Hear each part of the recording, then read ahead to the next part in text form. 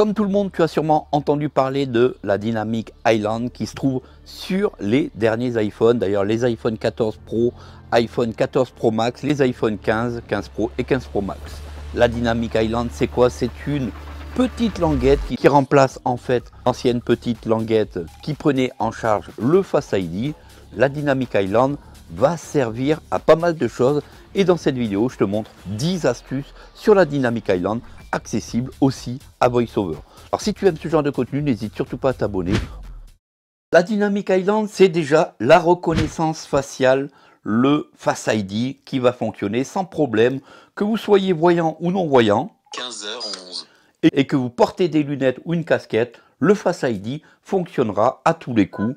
15h11. Et tout ceci se passe bien sûr dans la Dynamic Island. c'est que lorsque je vais brancher mon iPhone, en charge, 95%. On entendra directement dans la Dynamic Island le pourcentage de la batterie et sera vu aussi visuellement. Depuis l'arrivée de la Dynamic Island, on a quand même pas mal de possibilités. Si je lance un itinéraire, je vais pouvoir avoir accès directement à cet itinéraire à partir de la Dynamic Island. Je vous montre ça tout de suite. Comment aller à Paris en voiture? Calcule l'itinéraire en voiture vers Paris avoir accès à la Dynamic Island avec VoiceOver, tout simplement, vous glissez votre doigt et VoiceOver vous dit s'il y a quelque chose à l'intérieur ou pas. Démarrer. On peut voir que dans la Dynamic Island, plan est en action. Agrandir. Et je peux faire une gestuelle VoiceOver si je veux agrandir le plan. Voilà. Ici, j'agrandis ma Dynamic Island et je vois que... Départ. Démarrer. Et je vois que je suis sur plan.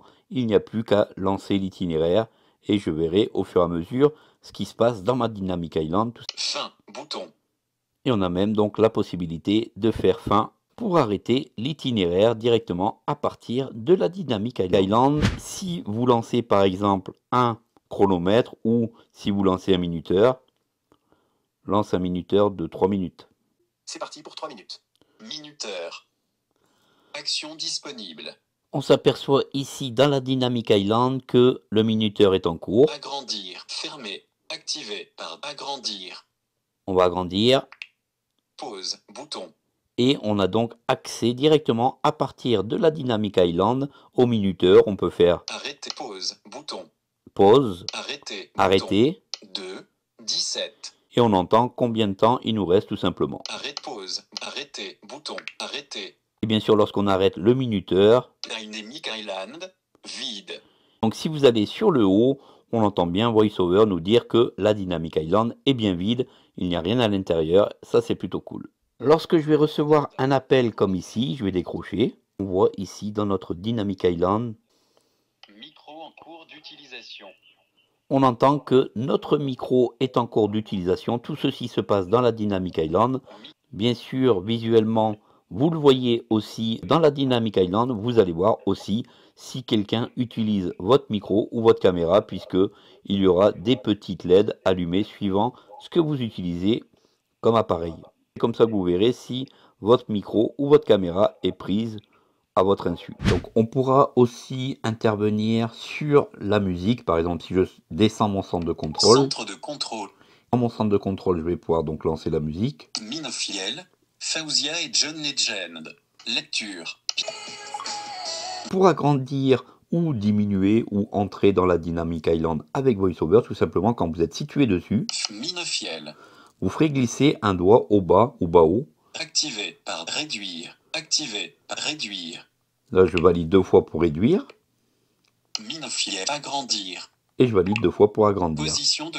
Donc tout simplement avec VoiceOver, on a une très grande accessibilité de la Dynamic Island. C'était une question de beaucoup d'utilisateurs. Est-ce que la Dynamic Island est accessible à VoiceOver pour les personnes aveugles?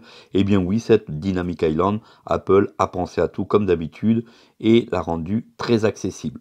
Donc comme vous pouvez voir ici, on est donc sur le lecteur multimédia. Favori, piste précédente, lecture, piste suivante, lecture audio via AirPlay, bouton. Et on peut même donc gérer le son si on veut le distribuer, si vous avez des HomePod ou si vous voulez diriger donc le son sur un autre périphérique, ça sera entièrement faisable à partir de la Dynamic Island. D'ailleurs, je vous ferai plusieurs parties sur les possibilités de la Dynamic Island, donc n'hésitez pas à vous abonner. On est donc sur la septième astuce pour gérer la Dynamic Island. Dites-moi en commentaire ce que vous en pensez déjà. Une autre astuce pour savoir si vous avez votre lampe d'allumée en tant que personne aveugle, ça peut être très intéressant. Pour les personnes voyantes, vous n'aurez pas de problème de savoir si votre iPhone a allumé la lampe de poche. Ici, allumez la lampe de poche. Très bien, j'ai allumé la lampe torche. Lampe torche, allumée. Et donc vous voyez, si je fais glisser mon doigt sur le haut de mon iPhone, lampe torche, allumée.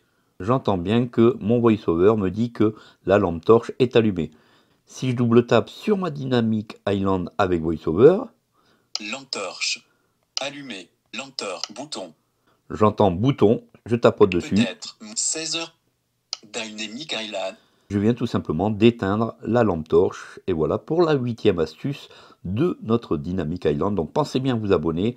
Il y aura à peu près trois parties sur la Dynamic Island. Si vous lancez FaceTime, toujours dans la Dynamic Island. Caméra en cours d'utilisation. Vous allez donc entendre caméra en cours d'utilisation. Caméra en cours. Et lorsque vous allez utiliser FaceTime, dans la Dynamic Island, vous aurez donc différents boutons pour gérer tout simplement le FaceTime en toute accessibilité avec VoiceOver. Caméra et micro en cours d'utilisation. Si vous lancez votre caméra et vous êtes sur la position vidéo, on va donc retrouver dans la Dynamic Island les deux petites LED qui nous préviennent comme quoi la caméra et le micro est en cours d'utilisation. Voilà comment vous pourrez donc savoir en tant que personne malvoyante si votre caméra ou si votre micro est utilisé à votre insu. C'est vraiment super important bien sûr, avec la Dynamic Island, on a des applications qui vont être complètement accessibles, qui ont été développées, en espérant d'ailleurs que les développeurs puissent continuer à développer ces applications accessibles avec la Dynamic Island. Franchement, ça serait super cool. Ça sera donc l'objet d'une deuxième partie. Alors pour l'instant, si cette vidéo vous a plu, n'hésitez pas à me dire en commentaire ce que vous voudriez savoir sur la Dynamic Island. Si vous êtes une personne malvoyante ou une personne donc non-voyante, aucun problème, sachez qu'elle est entièrement accessible aux personnes aveugles et malvoyantes. Les iPhones à partir des iPhone 10, à partir des iPhone 11, 12, 13, 14 et 15 sont très accessibles aussi aux personnes malvoyantes. Voilà pour cette première partie et cette première vidéo sur la Dynamic Island. Merci d'avoir suivi cette vidéo jusqu'au bout et on se dit à très vite pour de prochaines astuces. Salut à tous